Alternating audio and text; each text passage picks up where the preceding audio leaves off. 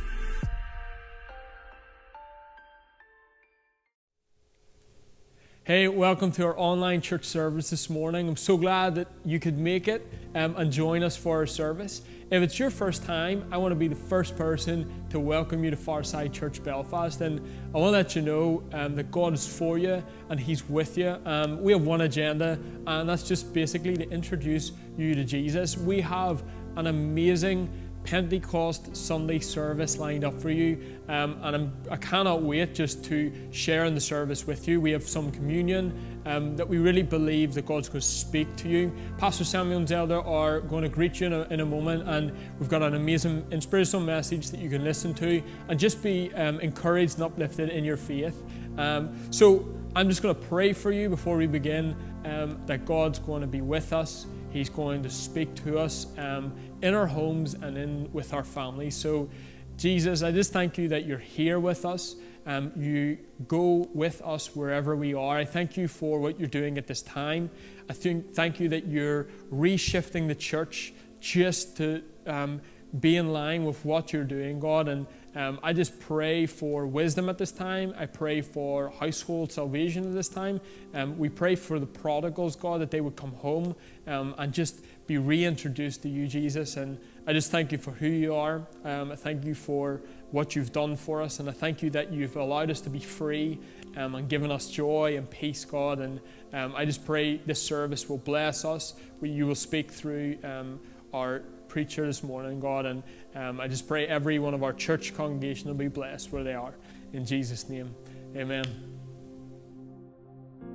Good morning, uh, Forestside Church family and friends. You are very welcome this morning um, to our broadcast. This is a special uh, service today because this is uh, Pentecost Sunday, and we just know God has something awesome in store for you as we just go through our service today. Thank Amen. you for spending time with us. Thank you for allowing us to pray for you.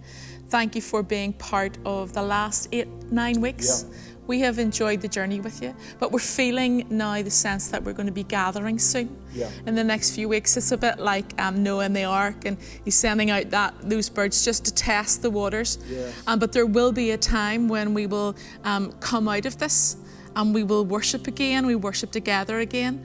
But allow God to finish the work that He has started um, with, with us all um, separated in our own homes because He has taught us many things. I think, you know. I think if you're, uh, if you're new to our online broadcast or uh, you've been a person that maybe for whatever reason that you love Jesus but you haven't uh, for whatever reason, just been at his house for a long time, and you've been tuning in maybe not only to this broadcast, and maybe some of you have been tuning in to lots of broadcasts.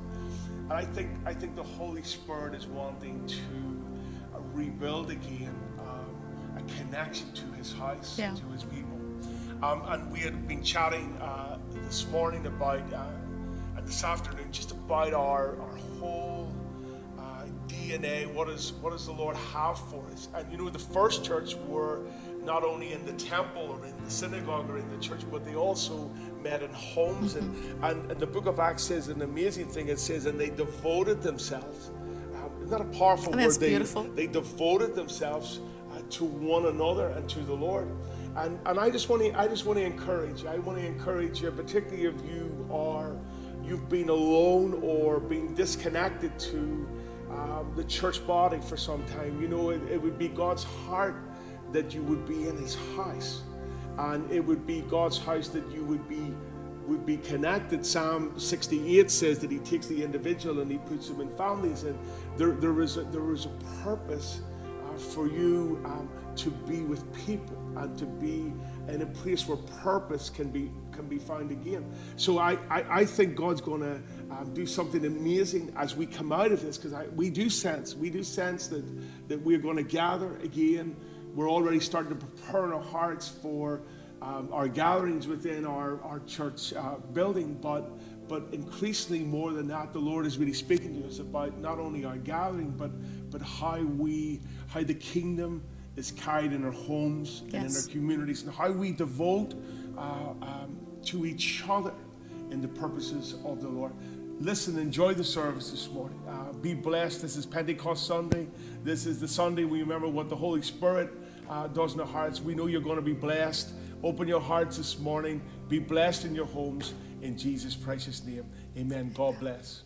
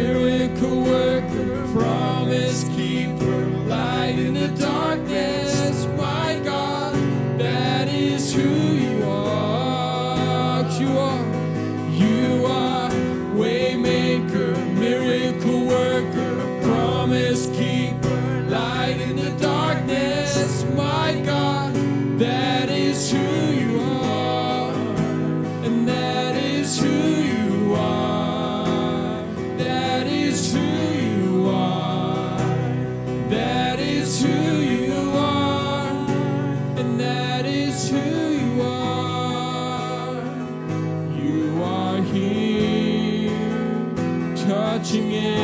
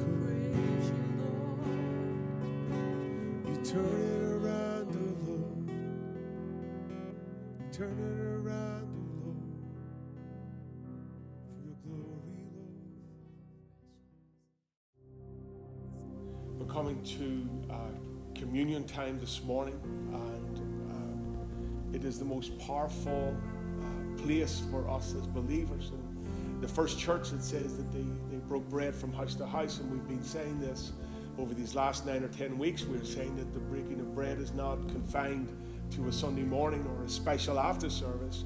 Um, if you're a believer, we want to encourage you to break bread daily if you Yes. can. Um, and remember this covenant communion, um, which the Lord has brought you into simply by believing in the finished work of Calvary. Um, this is powerful today because not only do we remember the blood that was shed, the Passover, um, but after Passover or after the cross um, came Pentecost. And the, the promise of the Passover was that Jesus would, Jesus' blood would cleanse us from our sin. And then he would do something really quite remarkable. He, he, he would fill us, he would give us the promise. Actually, the Bible says it's the promise of the Father Yes. that he would fill you with the Holy Spirit. Um, and the Holy Spirit always comes where the blood has been shed. And, and I, I want to encourage you today. I, I hear people saying, you know, I'd love to be a Christian, but I, I couldn't be a Christian because I couldn't keep this life. The, the truth about it is, God doesn't ask you to keep it. And it would be very foolish of you to even try to keep it. That's not what God asked you to do. The truth about it is that God uh, um, has promised because of the blood that was shed, because of the cross, He promised to give you His own Holy Spirit. In fact, Jesus said in John 7 out of your belly or out of your heart is going to flow rivers of living water. He is going to give you the same Holy Spirit of which the book of Romans says that the Holy Spirit, the, the love of God, has been shed upon your hearts by the Holy Ghost. And what the Holy Spirit does, the Holy Spirit begins to speak of you of your righteousness in the Yes. covenant and the power that was in the cross. So I, I just want to say to you this one, we're going to pray uh, in a moment. We're going to we're going to invite the Holy Spirit. But he has come not to speak of himself, but to speak of the things of God, to think, speak of the things of Christ, to, to speak to you of the finished work. You know, he comes uh, to convict you that you are righteous. He comes to convict you that you are sanctified uh, through the blood. He comes to convict you that the word can bring about in your life a transformation of healing and of, of an empowerment to walk. So um, when he says you shall receive power, after that the Holy Spirit shall come upon you. I know, I know there it is so that we can witness, but we're witnessing to the fact Yes. that Jesus has brought us into a new covenant, finished work, paid for by his blood, and he promises to be all to you that he was to Jesus Christ himself. You can be full of the power of God this morning. You can be full of the Spirit of God. And I just want to encourage you in that this morning. I want to encourage you to know that this life is lived in the life of the Holy Spirit. So we're going to come around the, the table this morning. And we're going to thank the Lord for his body that was broken. We're going to thank the Lord for his blood that was shed. And we just want to pray for a moment, uh, just this morning, that you would have a renewed encounter of the Holy Spirit. We cannot live this life without the Holy Spirit. He is the Holy Spirit. And uh, he is powerful. He is beautiful. He is the advocate. Um, and he is the wonderful counselor this morning. So let's just let's just have some communion time. Stella's going to pray um, over the bread this morning. Amen. Thank you, Father. Praise God. Oh, I just want to worship In you, Lord. name of Jesus. I need to hear these life giving words that your spirit confirms to my heart and my spirit. And I thank you, Lord, that I take this bread, a symbol of your oh, body, for nothing was acceptable Thank you, Father. other than Christ. And so I stand um, in Christ this morning, believing in the preciousness of um, His blood and for the power of um, His broken body to make me whole and to give me a life abundant. Yes. And so I receive from you now Heavenly Father, and I thank you, Lord, for this promise, Lord, of your Spirit Yes, that brings alive these, these symbols, that you bring them alive to my heart and my mind, and you renew me. Yes, of Um, just, Lord, as the sun shines, that the Sun of Righteousness arises, Lord, we, we look to you, Lord, and we find, Lord, our strength and our life in you. So we take this bread and we receive all that you have promised, Lord. If we don't understand it all, let your Spirit, Lord, bring us a revelation day by day Hallelujah. in a greater way, Lord. We just rely on you to speak of the goodness of God. So we receive it in Jesus' name this morning. Amen. Thank you, Lord. Thank you, Lord. Praise God. Thank you, Jesus. Lord, I thank you that when they put the crown of thorns upon your head, Lord, it was that you would cleanse us from an evil conscience, Lord, and you would give us a sound mind, Lord. Your Praise God. head was crushed, so my mind, Lord, can be whole before you, Lord. We thank you for your blood today.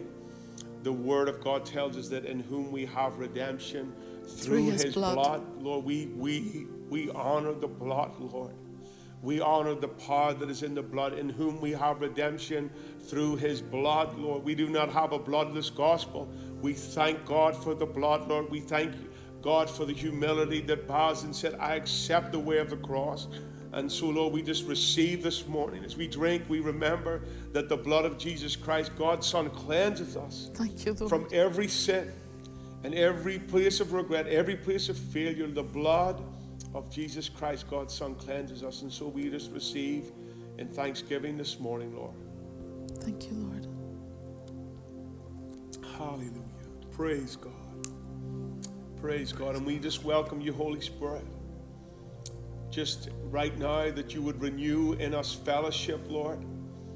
That you would renew in our hearts the love of God, that the love of God would be shed abroad in our hearts by the Holy Spirit, Lord. That you would quicken those who are. Uh, Lord, the Bible says that you quicken the dead, Lord, the dead in spirit, Lord, that there would be a quickening of the Holy Ghost, Lord, that there would be a filling again, even in your people, that because you encourage us and then you test them to be filled with the Spirit, speaking to yourselves in psalms and hymns, and spiritual songs, singing and making melody, even in your heart unto the Lord. And I just pray there would be a quickening of your Holy Spirit, Lord. I pray where there is dead things that the Holy Spirit would just Hallelujah. quicken, that the Holy Spirit would make alive, Lord. And that, Father, those that have been closed or places of our lives that have been bound up, Lord.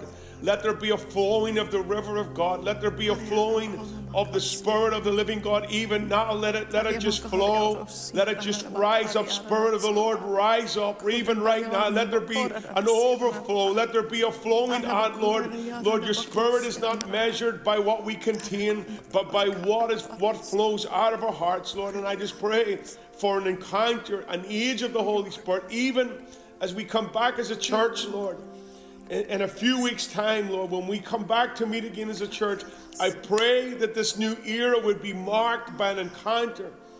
Lord, right across our city, even right across this nation, Lord, by an encounter of the Holy Spirit. Yes, Lord. A deeper sense of the Spirit's work in the church, Lord. A deeper uh, uh, uh, uh, sense, Lord, uh, Lord, of, of waters that your word tells us that we can swim in, Lord Hallelujah. That deeper sense of a saturation of the Spirit of the living God, because it is the promise of the Father, Lord. And I just pray this morning for every heart to be revived by the Spirit of the Lord. In Jesus' precious name. Amen. Amen. And amen. And Praise amen. God God. bless you this morning. Hallelujah. In Jesus' name. Amen. Praise God. Would you, would you turn to John uh, chapter uh, 17?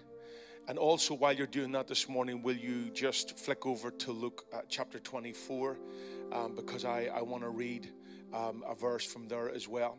I, I believe with all of my heart, and just to say to you this morning, I'm, I want to preach to you this morning on the, the baptism of the Father's love. That's, that's my heart. I was so thrilled to hear the prayer from Pastor Sam this morning. And I, I want to just speak to you this morning on the baptism of, of the Father's love. I believe with, with all of my heart that the Holy Spirit is going to baptize the church with a fresh revelation of the Father's heart and the Father's love, a depth that you have never known before in all of your life. And I sense so much um, that the Holy Spirit is going to open and to flood our hearts and to uh, emerge our churches with an overflowing, joyful understanding and filling with the Father's love.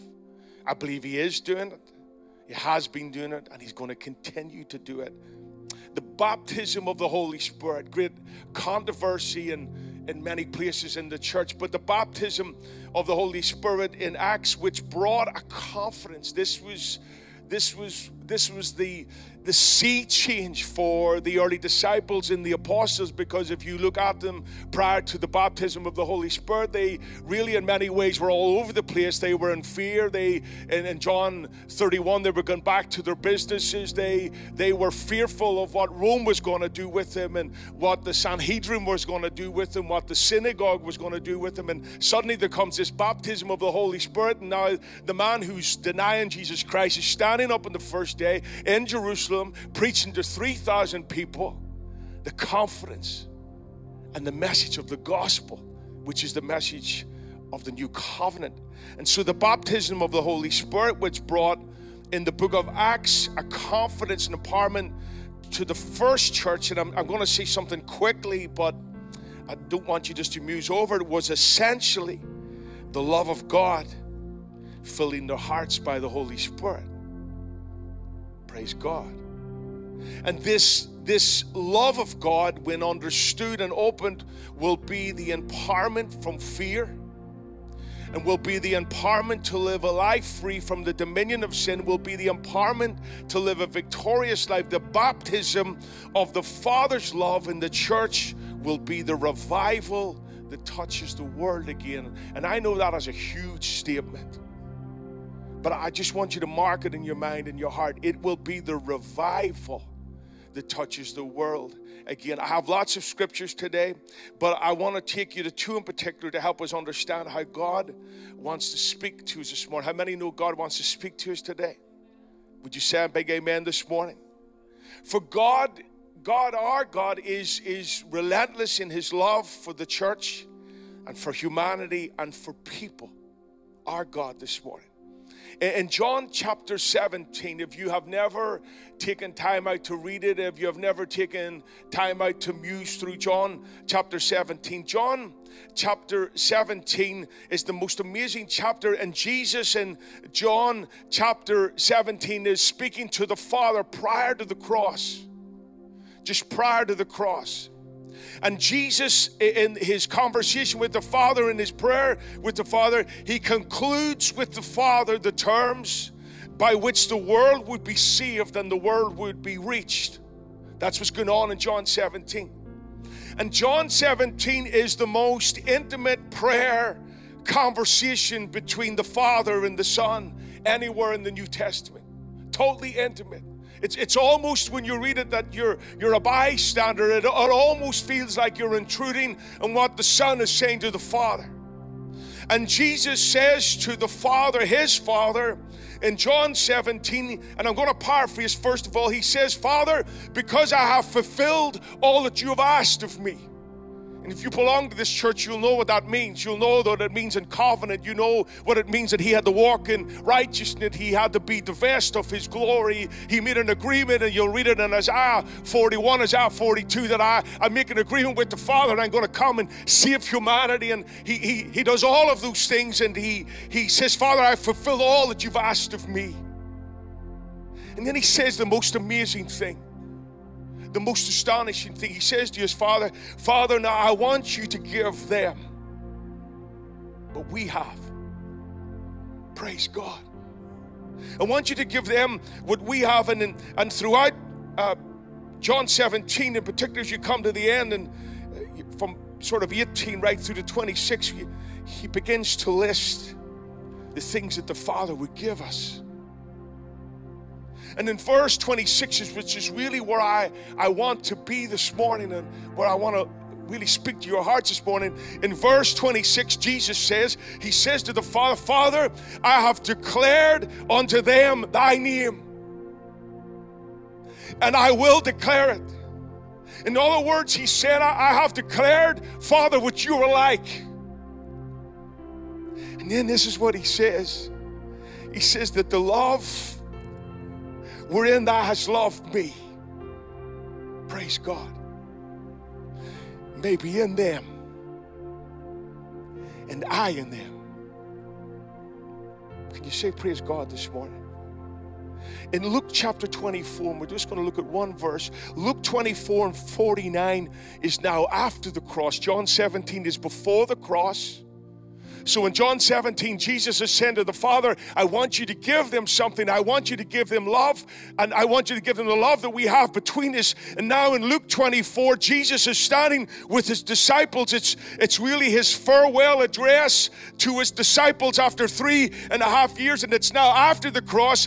And these are Jesus' final words. And, and I think this morning, church, that if it's Jesus' final words, we need to pay attention to what he's saying because I pay attention when people are leaving me or are parting, or particularly if they're going away for a long time. Their last words are important. Jesus' last words are important after the cross. Jesus is saying his fi- final farewell to his disciples, and he says to them, Wait because the Father is going to give you something. Do you see how we're tying together this morning?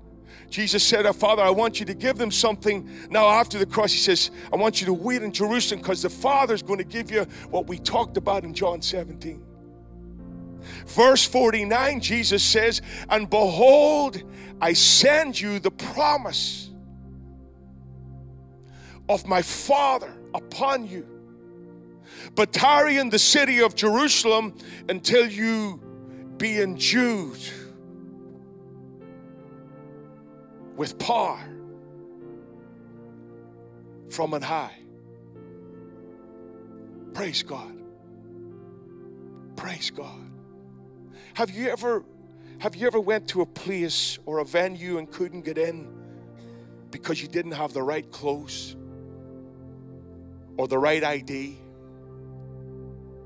or the right credentials? If I'm thinking of a club, you shouldn't have been there or I'm thinking of something else this morning. All right. Or have you ever went to a place and when you arrived, someone said, I wasn't expecting you. I, I was expecting someone else. I was in a place a couple of years ago, and after a meeting with this person, actually, it was a police officer. And after meeting this police officer, a friend at the time who was also meeting, meeting that police officer said to me, The police officer wasn't expecting you.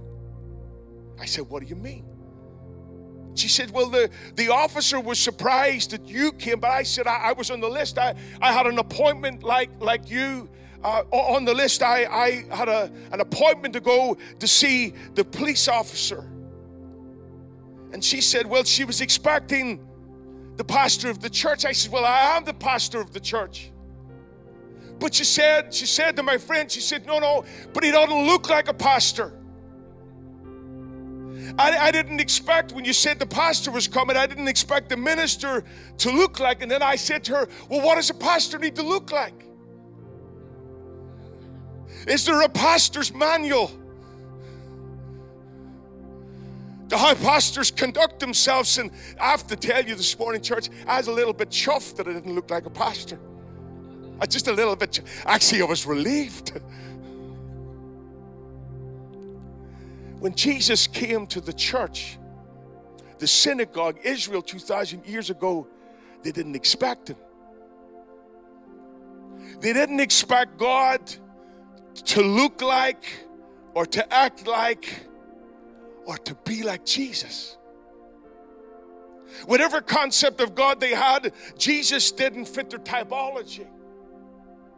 They had known from the prophets that God, the Holy One of Israel, the God of Abraham and Isaac and Jacob, had promised to come and to be unto them a deliverer, and all of the prophets and all of their history and all of their books taught and prepared them for the arrival of God in their midst. But when He came, He didn't look like, He didn't sound like, He didn't act like what they thought God should be.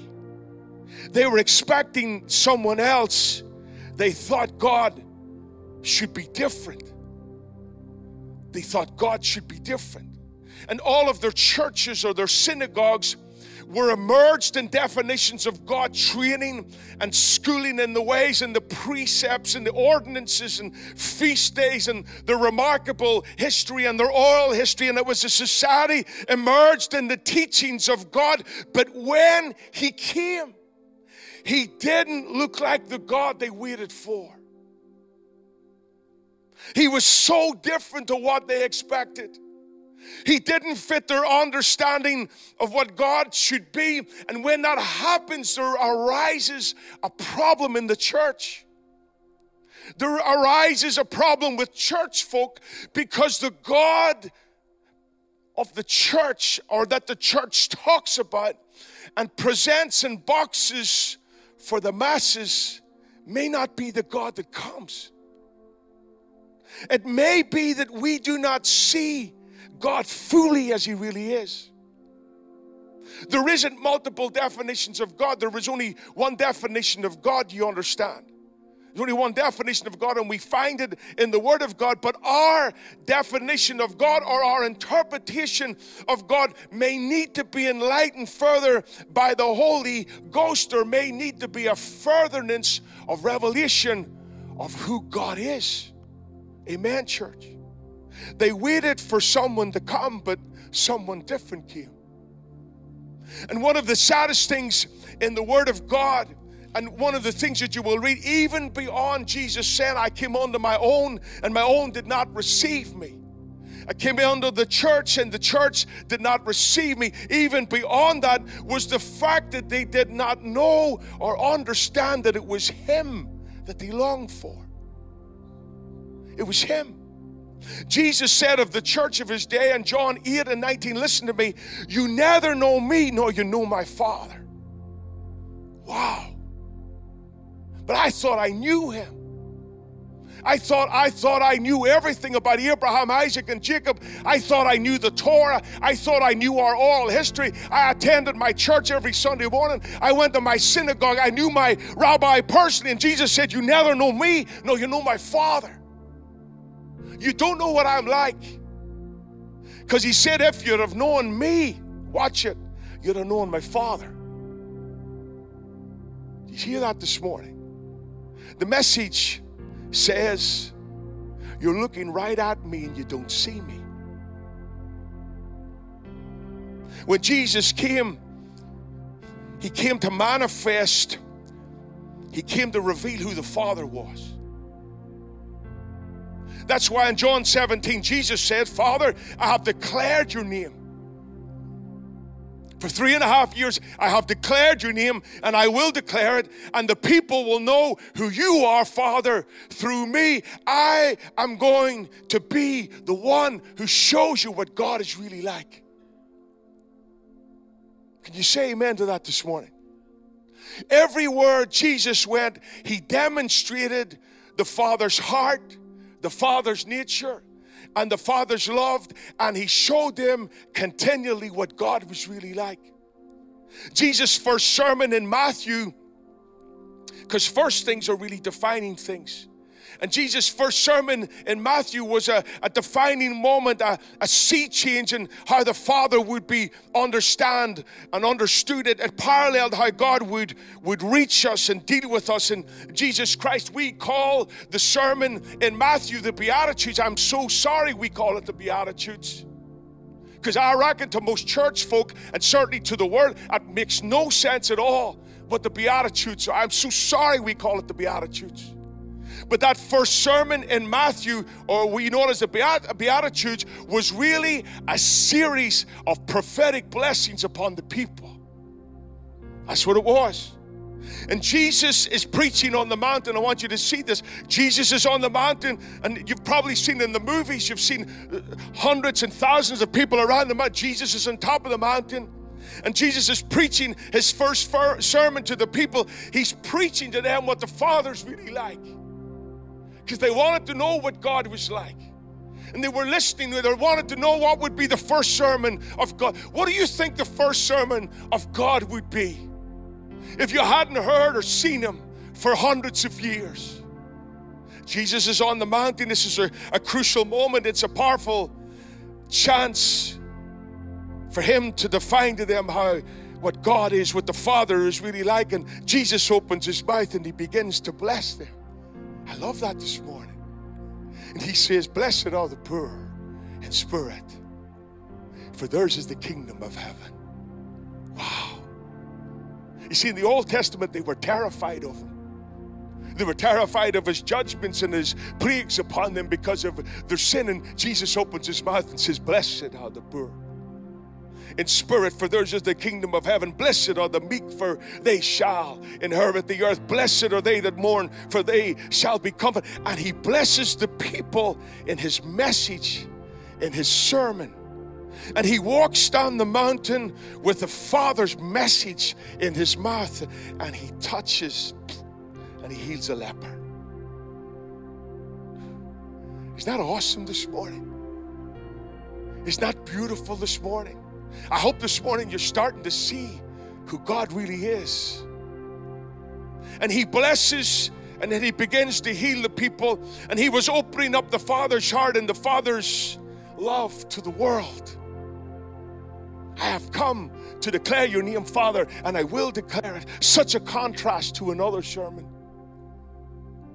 in a mountain called Sinai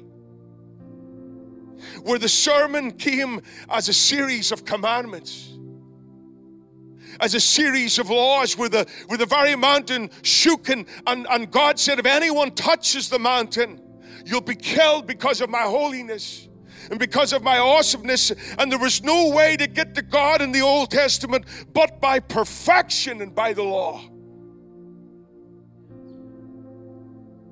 And you know what it said when God thundered his sermon on the mountain? It says the people stood afar off. And Moses said, I exceedingly quake, and I fear at the sight that I've saw. Because he was fearful of him who was glorious in holiness and awesome in perfection. And God used that law through Moses to bring a death in them that they might look away from themselves and they would look to Him except only by grace and love, and they would look only to His Son, Jesus Christ. For the law came by Moses, but grace and truth came by Jesus Christ. And God used the law to bring a death in them. And the law lay as a burden and as a weight for 400 years against them until the Father would burst upon their society and their culture in the form of Jesus Christ. And when He came, He came with a baptism, an overflowing, and a fullness of the Father's heart. And the law couldn't get them to God, but God got to them in Jesus Christ. And the Father couldn't wait to get to this world. Praise God. You see, the Old Testament was not a series of, pre- of, of, preventative measures from getting you to God. God in the garden in Genesis was desperate at every point, at every covering, at every lamb that was slain, at the veil in the temple, at the commandments given in Sinai. Everything that God did was to prepare a way for Jesus Christ to come. God has been desperate from the beginning of time to burst upon humanity with His love.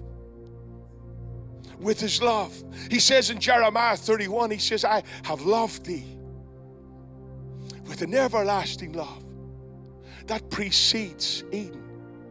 I have loved thee with an everlasting love. With loving kindness I have drawn thee. The arrival of God in Jerusalem became a baptism, an overflowing of the Father's love and the Father's heart to people and to humanity. Everywhere Jesus went, He healed them, He freed them, He sat with them, He opened His heart to them, He displayed and manifested the Father's love in the towns of Nazareth and, and, in, and in Galilee, and the totality of His ministry and of His of arrival was to display the love of God and the Father's heart. I have come in my Father's name, and I am declaring to you who my Father is.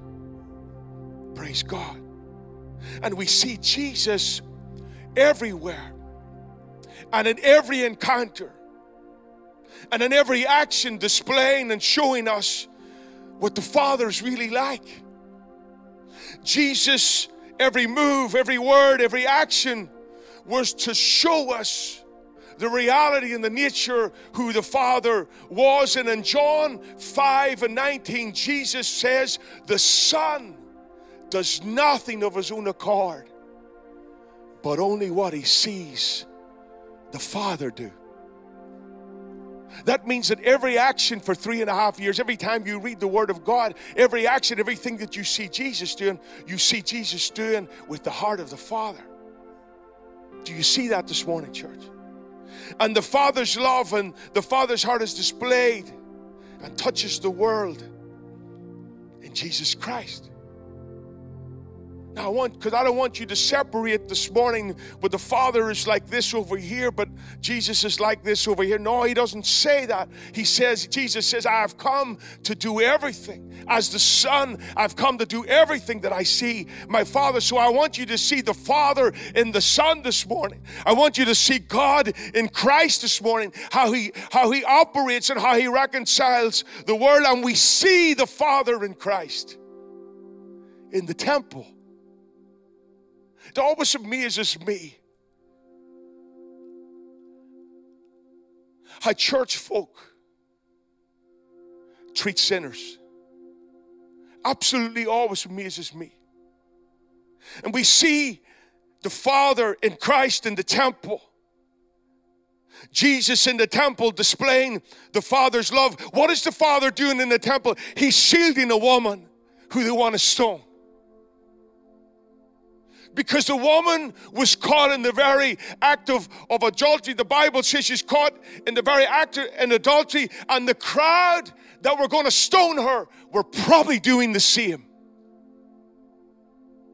And if they hadn't done the same, they had thought the same at some point in their life. That's why the Bible tells us that the older men left first, because when you have a little experience in life and you've lived a long time, you realize the fragility of your own heart and of your own mind.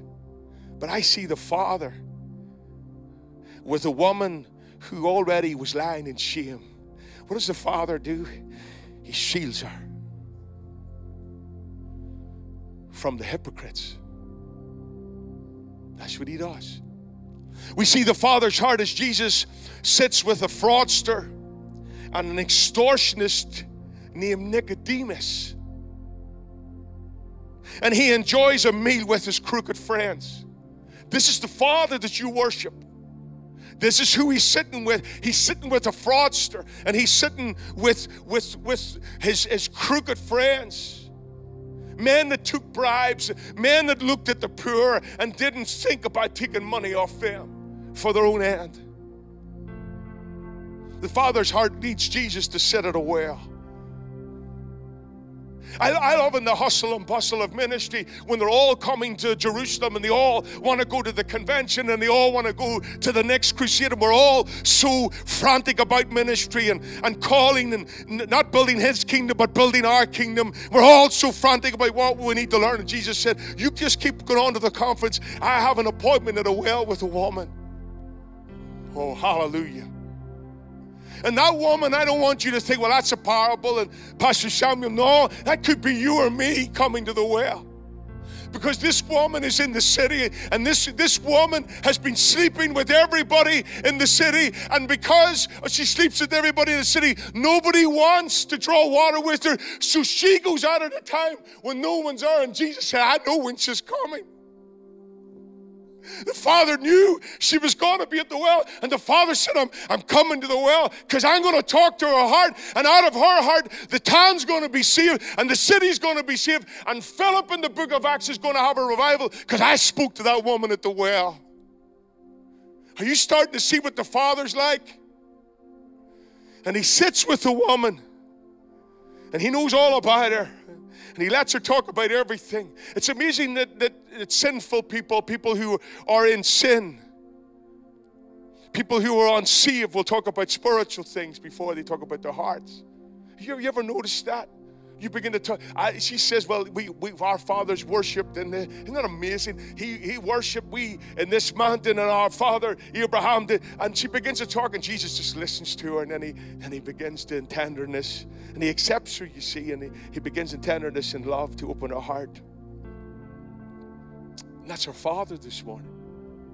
And our Father goes out of his way to cross the sea to free a man that's full of darkness, tormented by evil. He was a cutter, he, he cut himself, the Bible says. And the Father's touch in Jesus, makes him whole and well. Everywhere he went, Jesus said, I do what I see my Father do.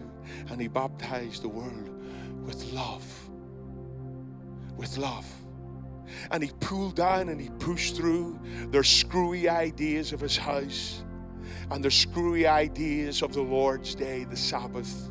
And he rebuked the religious people for criticizing for healing on the Sabbath and never on a Sunday crowd. But Jesus said, I do my best work on the Sabbath. I am the Lord of my Sabbath. My best moves, my best healings are on the Sabbath day. Praise God. And he runs. And look, I know it's a parable, but he runs and look for a lost son. A prodigal, a sinner, someone who had blown it. And he embraces him with unconditional love. Aren't you glad the father got to the prodigal before the elder brother? The elder brother got to him first. He had never been in church. But the father got to him first. And Jesus declares and he shows us the true nature of the Father, and He touches His world with an overflowing manifestation of love, and God comes to demonstrate His love. His love. And the theme in Jerusalem was not that they loved God, but that God loved them. And the theme in the church is not that we love God, but that God loves us. The Bible says that God so loved the world, and that's, we say God so loved the world. Well, I know that. I see that in the back of buses. I've heard people preach it, but you don't understand. He so loved the world systems and their darkness and everything that came with it and their debauchery. And he said, I so love the world. And the people were beginning to understand the more they heard of it, the more they seen him, that it is God's love to them, it's not their love to God. 1 John 4 says, This is love.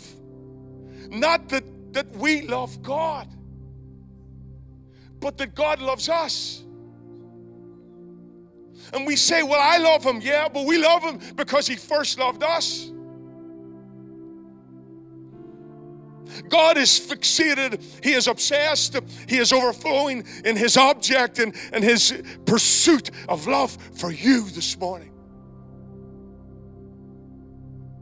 He moves mountains, He opens rivers, He opens heavens to display His love. He grows a tree that becomes a cross, and He places Himself on a cross out of His object, relentless, indomitable love for you and me. Praise God. And the theme of the Bible and the Father's heart in Christ is simply this, church He loves me. Loves me. How great is the love that the Father has lavished, bestowed upon us that we should be called the children of God. Paul, the apostle, I love Paul. I, I, looked at I looked at something yesterday, and they were showing Paul as a man about six foot three with a, a glow around his head. Paul was about five foot two, and he, he was bent over and he had a poor eye. Said, "I love Paul." You know what Paul said? Paul says in Galatians, he says he he loves me, me, and he gave himself for me. The gospel writer John, John the gospel writer, John, the beloved, after being with Jesus, you know how John describes himself? John said, I am the disciple who Jesus loves. Who Jesus loves. When Lazarus was sick and Jesus came and, and everybody was there and all of the commotion, his sisters did not appeal to Jesus' power to heal him, but they appealed to Jesus' love to heal him. For they said in John 11 and 3, they said, Lord, behold him whom thy. Are you getting this this morning? Him whom thou lovest.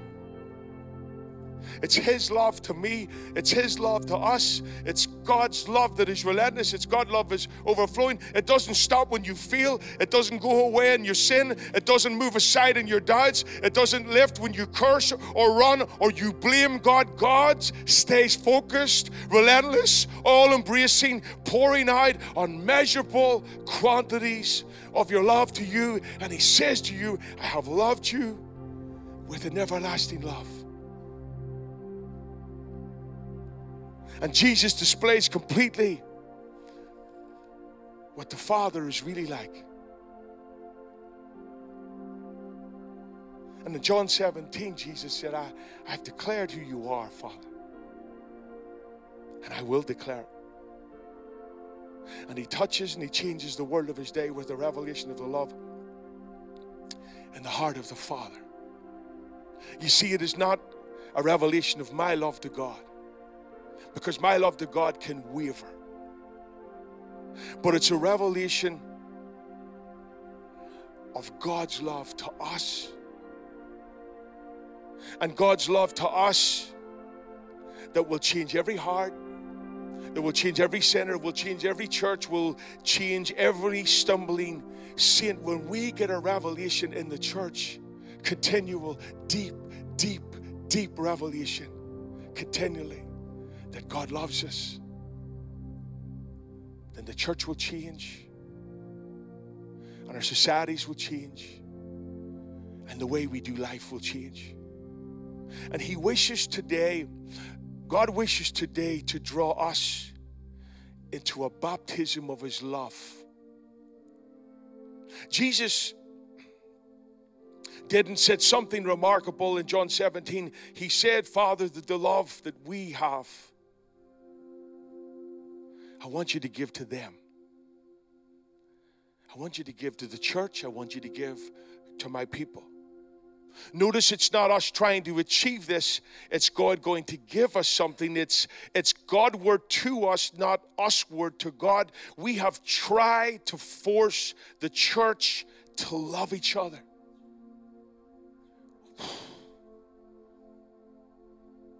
I could tell you a confession, I could do it for a while. But eventually you'll test me. And eventually I'll say to the Lord, Lord, I don't really love them today.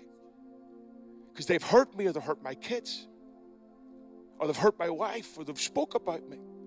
And then I have to go back and I say, Father, would you give me love? But I don't have, and I have to go back because my love, and I'm trying to tell you, I'm trying to be honest with you this morning, my love is finite. And I have to come back all the time to get it filled up. And sometimes I have to walk in silence because, and you have to walk in silence because you know people have wronged you and done things. And we, we get all hung up in all that sort of stuff. And then we try to force each other. You just need to love each other. Really? I choose my friends, but I don't want to choose the people I go to church with. Am I making sense to you this morning? That's what we do, don't we? Choose our friends, but we don't. We go, if I go to that church, I have to. He was good the first six weeks, but do you really have to? You know.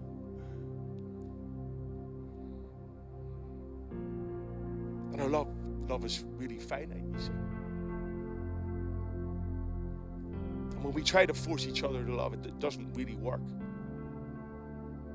because our love is really multifaceted. You know, we, we, we have love where we'll have our own we group, social group, or we'll have love that extends to our church. Our church is amazing. And sometimes we don't have love for the next church because uh, they're either doing better than us or we have all of those screwy ideas about church and people and we compare.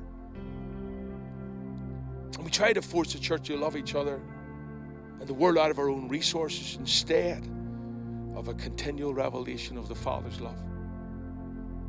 Because that's the only thing that changes. Now, having time to go a lot further this morning, but I want to just say this to you this morning. The baptism of the Holy Spirit was a baptism of love in the book of Acts. That the love of God has been shed abroad. How was the love of God shed in the heart? It was by the it was by the Holy Ghost. What did the Holy Ghost come to do at Pentecost? He came to fill what Jesus was in them. Jesus said, I'll put the Father's love in you, and it'll be I in you, and I in them. And I, I want to tell you this morning that the Holy Spirit is wishing to pour out and to fill our hearts with a deep work and a baptism of the Father's work in this house. God is going to overflow this house with the message of the Father's love. Jesus says to the Father, The love that we have, I want you to give them. And the promise of the Father is that the love of God is shed abroad in our hearts by the Holy Ghost, that we get a deep revelation of this love from John 17 we have talked and preached much about the baptism of the Holy Spirit, particularly in Pentecostal denominations.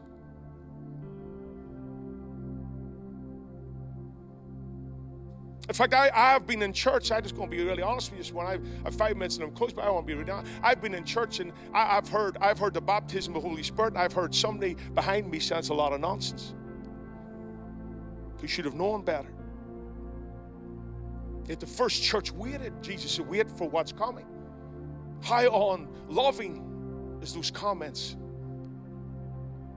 We have talked and preached much about the baptism of the Holy Spirit, particularly in Pentecostal churches.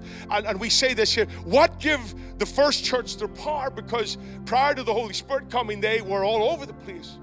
So, what changed? What did the Bible mean when it said, You shall receive power after the Holy Ghost has come upon you? We get really excited and we raise our voices, You will receive power. It's compulsory to have power. And we preached, we have preached well the initial evidence and we have enjoyed the spectacular manifestations because, because we sit in a Pentecostal church either here and we talk about tongues or spiritual language, or we sit in the charismatic side over here and we, we say out the movings of the Holy Spirit. The Holy Spirit does this, and it's amazing. And both of those things are amazing, by the way. I'm not political, they are amazing, and I embrace them with all of my heart. But when Jesus said, Give them the love that we have, and then in Luke 7 Luke 24, he says, I'm going to give you the promise of the Father. I'm tying it together for you this morning. It was an overflowing, full immersion and baptism of the Father's love, the Holy Ghost coming into the hearts and shedding abroad the love of God in a deep demonstration on the day of Acts and on the day of Pentecost. That was the power that came. The power and confidence of the first church flowed exclusively out of love. Exclusively out of love. And all of the early fathers believed that. Can I give you a quote from the early fathers? The early fathers said that spirit baptism was a baptism in the divine love. Frank Macchia, I think that's how we pronounce his name, wrote a book on the history of the Pentecostal movement. And this is what he said He said, The Spirit who mediated the love between the Father and the Son is now poured out so as to draw humanity into the koinonia or into the fellowship of God and to gift and empower the church on the salvation. In 1833, in Bishopgate Street Meeting House, there was a mighty move of God.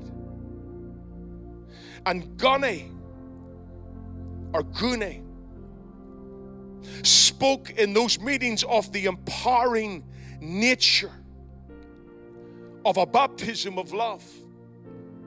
In the Azusa Street Revival, how many have heard of the Azusa Street Revival in 1904 in California? in the Azusa Street Revival in 1904, which most people credit to be the global move of the Holy Spirit in the last century. In the Azusa Street Revival in 1904, Frank Bartleman said, Listen what they said about this revival. The Spirit manifested most clearly in this revival through love divine love was wonderfully manifest in these meetings. A Lutheran pastor, on commenting on the outpouring of the Holy Spirit in his con- congregation, said, A spirit of pure love invaded the church and drenched me like rain. He, he was beating in my heart. He was flowing in my blood, breathing in my lungs, thinking in my brain. Every cell in my body, every nerve tingled with the fire of His presence and of His love. And the greatest result of the promise of the Father to pour out His Spirit was baptism of love. Jesus said, By, by this shall you know that you're my disciples you have love. But love doesn't begin with us, it begins with Him. Father said, Jesus, give them, give the church, give every heart the love that we have between us. Question I want to just really say to you this morning. Do, do, we, do we want to build a church or do we want to live, build our lives on, on, on ministry and the mechanics of church? Or do we, do we want to build our lives, do we want to build our church on a baptism of love? Which is, which is the endowment of power for us to reach the world. I want to reach the world, I want to reach the world. But God didn't say bypass a baptism of love. God said, wait for the promise of the Father, and I will give them what we have. And I feel in my heart I feel in my heart and I know in my heart, no matter what I see, no matter what I don't see, I know in my heart that this year we are coming into the depths of the Father's love. I know that with all my heart. And it is not my work to God, it is God's work to us. And I am to you this morning to open your heart, strip away the mechanics. If you do ministry, you will eventually burn out. But if you do God, you will be baptized with a love that is endless, that is overflowing, and will touch the world. And the criteria this morning is very is one simple thing is that you open your heart and you abandon yourself. And actually, actually, and the truth about it is, maybe you need to strip aside all of the things that are making you busy, but not necessarily better for the kingdom and not necessarily understanding the Father's heart and His love. You can be busy without the love of God, do ministry, but you need a baptism of the Father's love and of the Father's heart. Thank you so much for joining our church service this morning. I'm so glad that you could be with us, um, and I hope you've been encouraged and uplifted um, just listening to our broadcast. If you don't know Jesus, uh, we want to just give you the opportunity right now just to respond to Him. Um, I just want to remind you that when you accept Jesus, your entire life's changed. Uh, we're just people with one agenda, and that's, the agenda is that we want to introduce you to a person, a real living God who wants a relationship with you. Uh, number one, Jesus has forgiven your sins. No matter who you are, your background, your nationality, what you've done, nothing you can do or can't do changes the way God views you, and He loves you and He wants a relationship with you. Um, so much so that He died and He took away your sins at the cross. Number two, the love of God will change you forever. You'll never be the same when you accept Jesus.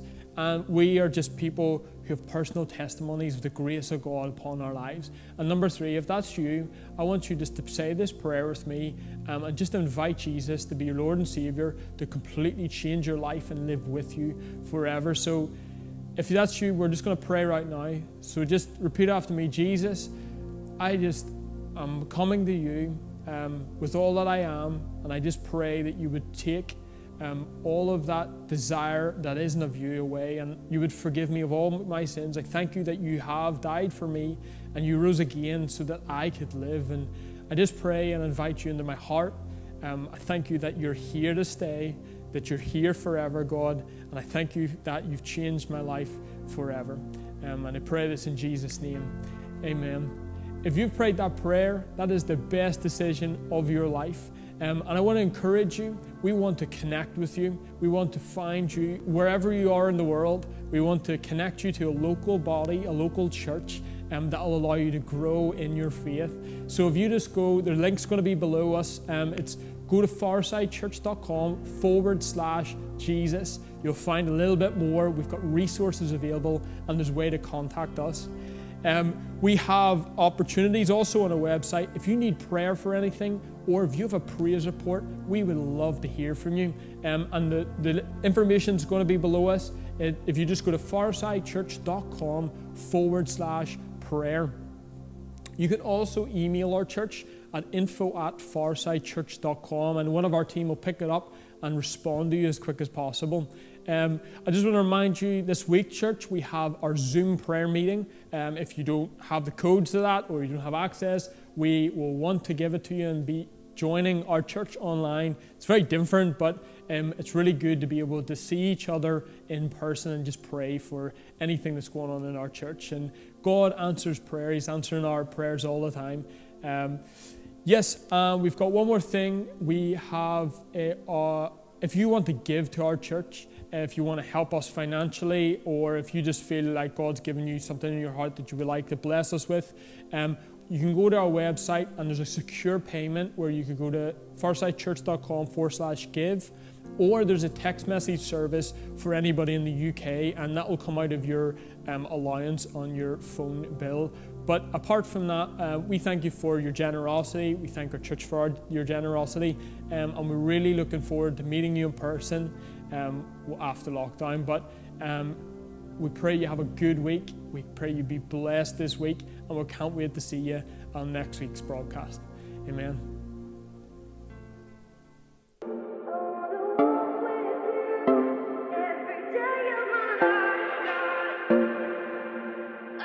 see